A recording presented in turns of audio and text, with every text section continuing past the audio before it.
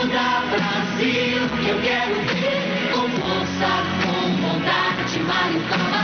E ele busca no olhar de cada um para saber quem acredita naquilo que está falando. Em outras palavras, ele está apostando mais no ver do que no ouvir.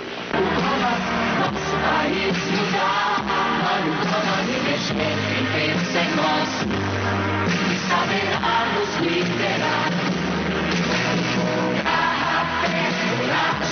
vencer, muda Brasil, eu quero ver com força, com vontade, Mário Covas, ser o Brasil da verdade. Nossa força é o coração.